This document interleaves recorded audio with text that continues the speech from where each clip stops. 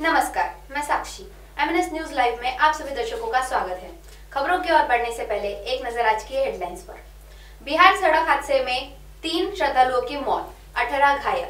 सुरक्षा बलों ने मारे छह आतंकी। ऑपरेशन जारी। इस सुंदरी ने बढ़ाया प्रदेश का नाम। अब खबरें विस्तार से। दीवान ज़िले में भीषण सड़क हादसा हुआ। इस हादसे में कार्तिक पूर्णिमा के मौके पर गंगा स्नान करने जा रहे श्रद्धालुओं से भरे ट्रैक्टर ने जोरदार टक्कर मार दी। हादसे में तीन लोगों की मौत हो गई। करीब 20 लोग घायल हो गए। वही चालक गाड़ी समेत मौके से फरार हो गया।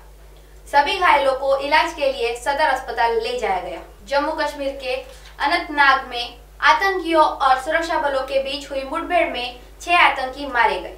ऑपरेशन जारी है। यह एनकाउंटर सेकीपोरा के बीच बहेरा में जारी है।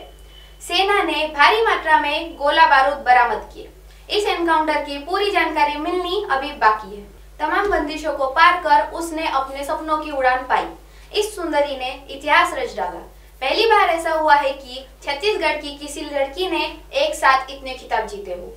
राजधानी की रुबीना ने एलिट मिस इंडिया प्रतियोगिता में तीन खिताब हासिल कर प्रदेश का मान बढ़ाया।